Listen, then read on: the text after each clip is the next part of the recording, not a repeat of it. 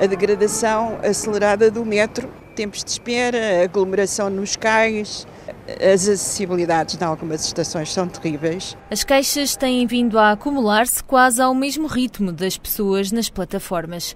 Para quem usa o metro de Lisboa, a corrida cotidiana deixou de implicar apenas velocidade e passou a exigir resistência, com tempos de espera que chegam aos 15 minutos entre comboios e inúmeras perturbações nas linhas. As 20 carruagens paradas dão estes resultados, não é? Porque não há material eh, circulante, como, como se diz, suficiente, que é uma coisa terrível, não é? As estações, as pessoas não conseguem entrar eh, no comboio que pretendem, não é? Têm que esperar.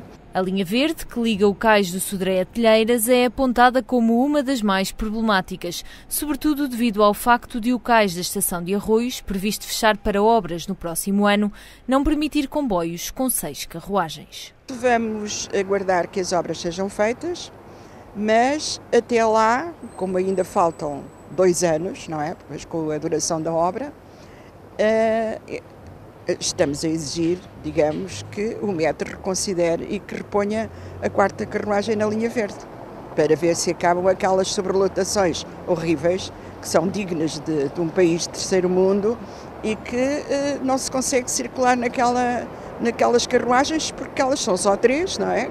Estão a, a circular desde 2012. Nós percebemos que tem que haver evolução e para haver evolução tem que haver um sacrifício de alguns utentes ou de alguns uh, trabalhadores durante um determinado período. Não aceitamos é efetivamente as coisas sejam feitas em cima do joelho. Nós não podemos dizer vamos fechar arroz sem sabermos se há, já está feito um curso, se ele já foi aprovado, se há orçamentação, obviamente, para o poder fazer e por tempo é, efetivamente a estação de arroz vai estar fechada. A falta de trabalhadores nas áreas operacionais e o desinvestimento feito nos últimos quatro anos, com o objetivo de privatizar a empresa, são as principais razões apontadas para a deterioração de um serviço que se quer público e de qualidade.